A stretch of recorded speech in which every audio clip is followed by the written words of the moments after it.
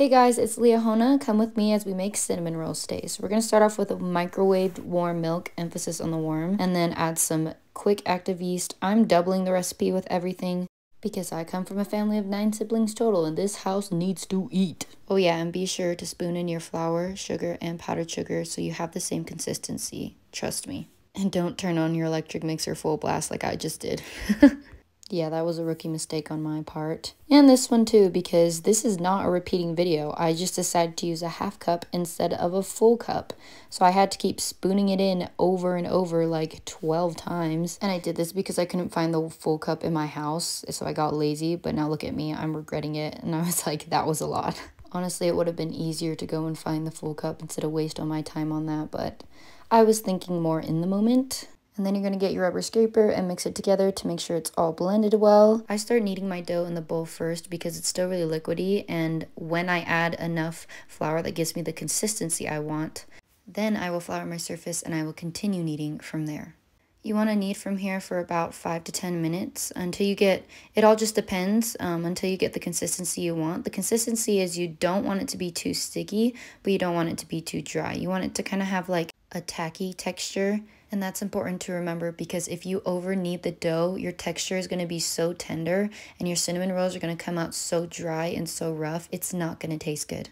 So don't over knead. So I'm using the same bowl, I just washed it out, and then you're going to spray it so that it doesn't stick because this rising process is important. You're going to put it in there, then you're going to use some saran wrap. Spray your saran wrap, please, because the dough is going to rise double in its size, and if you get dough stuck on there, you're going to have to throw that dough away, and that sucks. So now we're going to wait for the dough to rise for one to three hours. If you let it rise for three hours in the first process, you can skip the second rising process, which I'm going to do because I'm a lazy person, and then I'm cleaning while I'm going. Always clean while you go. It's way faster. Then we're going to do our mixture right here. This is just brown sugar and cinnamon. I do not know why I held up the cinnamon like that for you guys. That was weird. Anyways, in this process, try to get rid of the brown sugar clumps because when you pour it on there, you want it to spread nice and evenly. It should look something like this. And then you're to get your dough. Our dough has risen and look at that. So fluffy. You're to flour your surface and then you're to pour it on there. And then we are going to start rolling. You are going to roll it into a large rectangle. That is the best shape for cinnamon roll dough in my opinion because everything's spread evenly and you get the most of the dough instead of having to throw away the ends. So here I am just rolling it out. But like I said, I doubled my recipe. So my dough was so big. I had to move my camera back but you're going to roll it out until it's about a fourth to a half inch thick on all sides evenly. Then you're going to get your melted butter and you're going to spread it on there. Try to spread it as close to the edge as you can so we can use as much dough as we can. And then we're going to take our brown sugar cinnamon mixture and we're going to pour it all on there evenly.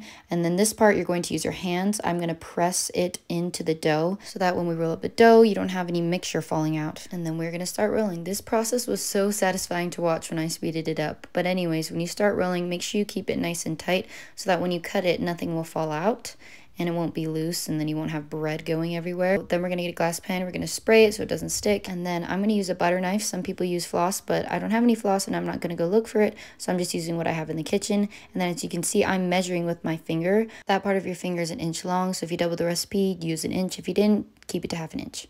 After you do this process, you usually let it rise in the pan for about an extra 30 minutes. But if you let it rise three hours before, you can just skip that part and pop them right in the oven because cinnamon rolls take forever. So you're going to keep cutting until they look something like this. Fire. And then I'm just wiping down my work surface over here. And then we're going to start on the frosting. We're going to start with some cream cheese. Make sure that it's room temperature, some melted butter, and then powdered sugar. Like I said, spoon in your powdered sugar.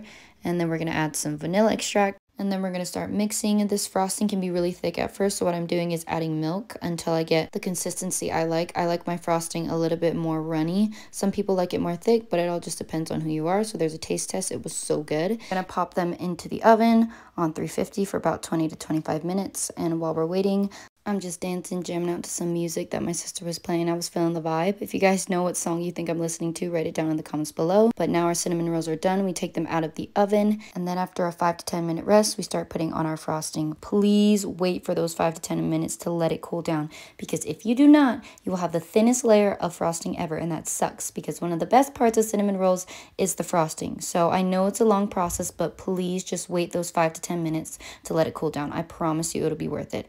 And like I said, head, if you let it rise three hours before, you don't have to do the second process of letting it rise, which was letting it rise another 30 minutes before you put it in the oven. So this is a good part. And then I'm giving a taste test. It literally tasted so fire. I was dancing as I tasted it. And that is all for today. Thank you guys. Bye.